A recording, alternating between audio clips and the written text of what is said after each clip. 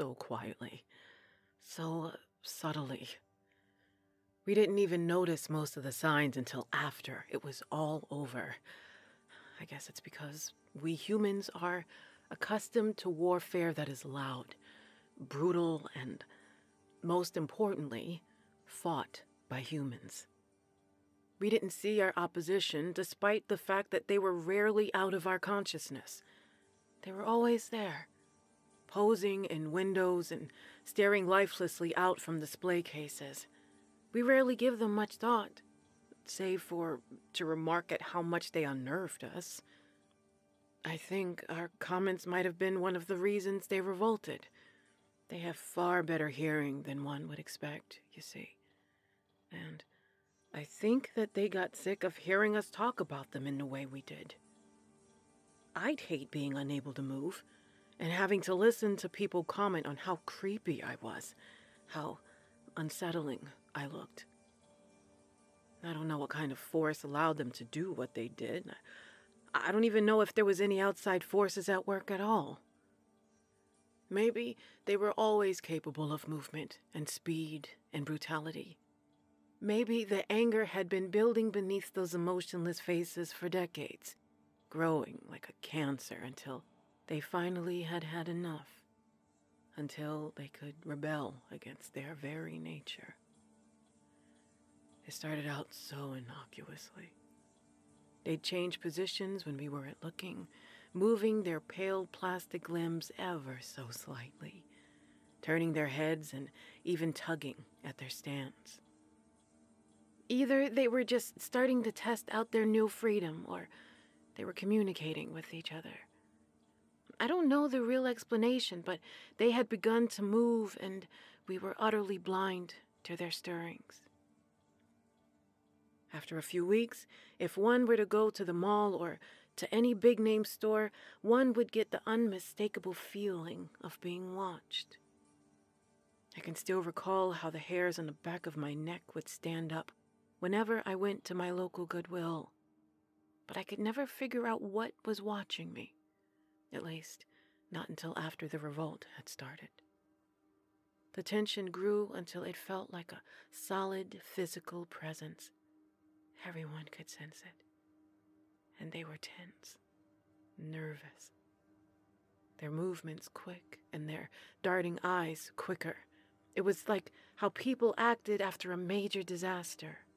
I can recall hearing the first few reports of people being attacked in stores nationwide. People getting hit, scratched, even bitten. At first, it was only a few occurrences, in the more out of the way places, in small stores and strip malls. But then the incidents grew more and more frequent, as did the severity of the attacks. The first death occurred on July 5th. A young girl was found in a back room, her windpipe crushed into pulp by a powerful grip. The next day, Two more people were killed in similar fashion. Then three more. Then five. Then 22. By the end of the month, over 430 people had been killed in what had been dubbed unusual circumstances. No one wanted to mention the lack of DNA evidence on the bodies, or the shredded clothing that lay near some of them, or their locations. I think that this made them angry because they attacked outright a few days into August. It all happened so quick. Looking back on it, it was dizzying how fast they moved. One second they were still and lifeless, the next they had torn their clothing and jewelry off and were attacking everyone in sight. It was amazing how strong they were. I saw them twist heads like bottle caps snap limbs like twigs, and gouge body divots into flesh with their blunt fingers. They were fast, too. Faster than one might expect. The first wave claimed dozens of lives, and not many people survived their first attack.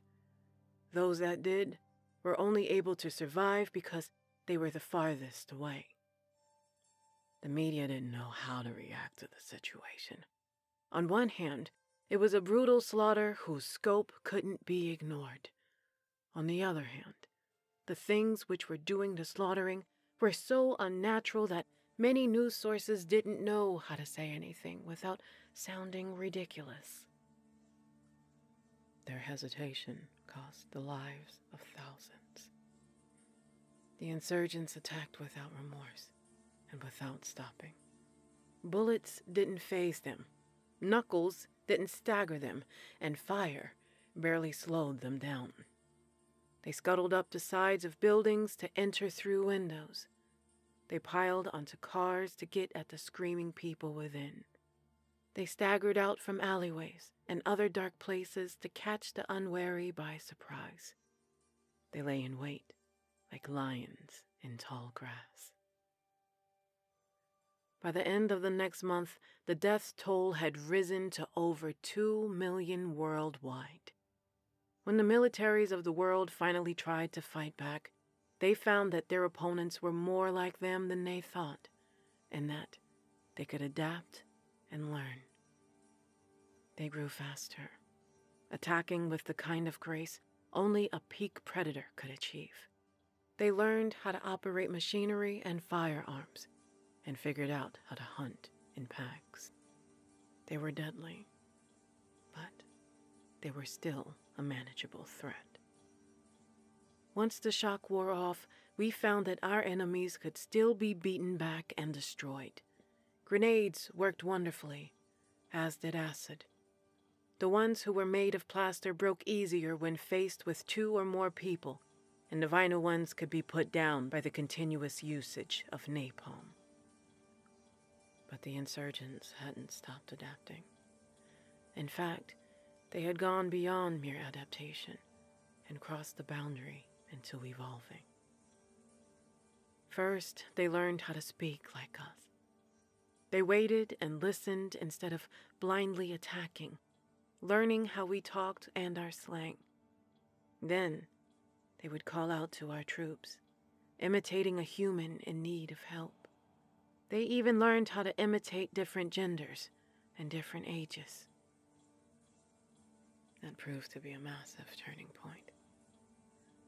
We could no longer trust the pleas of what could been a fellow human.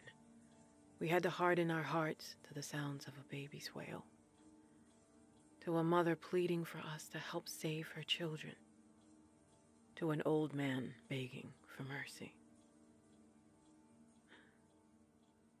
I can still remember how hard I wept when I heard a child cry in the dead of night. We thought that things couldn't get any worse, but our enemies hadn't finished with us yet. Their next evolution rendered them able to make more of their kind. They raided scrapyards, foundries, museums, and graveyards for parts.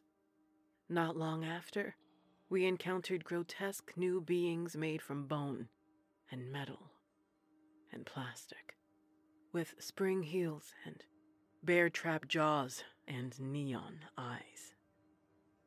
And so our numbers dwindled as the years passed by. The small conclave of people that I lived with grew more and more empty until there was only me and a few others. I could see the dull looks in their eyes, and I knew that their minds had fled. I could feel my spirit sinking as darkness poisoned my mind. So I set off for the city, hoping to embrace death with some dignity. As of this moment, I am back in my old apartment. The windows were broken out long ago during the first attack, and the snow has covered most of my living room. But the insurgents left most of my things alone including my shotgun. But before I end it all, I must tell you something that I saw. Something which has finally put everything in perspective for me. This morning, as I was looking out from my window at the snow covered street below. I saw several of them pass under me, and the changes that they had gone through in the time between my last encounter with them stunned me. They were wearing clothing thick furs and heavy coats, boots, gloves, and hats. I almost allowed myself to believe that humans had retaken the city. But then, one of them happened to look up, and I saw the paper white skin and the dull, smooth faces. But even those features had changed. I could see that their features had become more defined in some subtle way. Their lips twitched and parted to reveal jagged teeth. Their nostrils flared and their eyes actually blinked. I saw one of them,